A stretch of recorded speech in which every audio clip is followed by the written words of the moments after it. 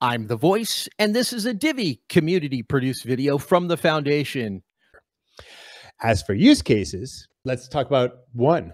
let's just start with one. A DEX is a good one.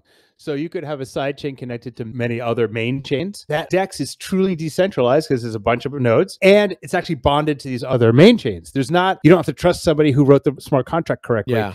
The DEX sidechain would actually be a real DEX and not a smart contract Yeah. on another chain right. that you have to buy tokens for or pay gas for. Like that's the difference. It will truly be connected mm-hmm. to the chains that it is exchanging between.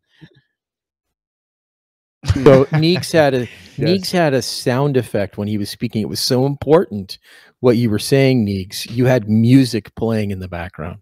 Wow. Yes. Yeah, I wanted to highlight that. More my, empowered. It was I, you, I like my- raised my you up. message has Yes, been empowered. That was perfect. Anyway, sorry about that. You're actually saving me time for the shorts. I'm saying you've done Nice, yes, exactly. I just need to send you the music again. So yeah, so to talk about the DEX, the DEX is a very interesting thing. And even if it sounds like the most obvious target that you would want to create with the sidechains, in fact, it's one of the most complicated. It right? is. Being able to Yeah. support multiple assets, being able to proceed transactions for all those assets, have multiple liquidity pools on it. But it is one of the targets that we want to have. And again, as this is all done through our partners, uh, our partner have a large portfolio of objectives for those sidechains, and Divi will be integrated in all of them.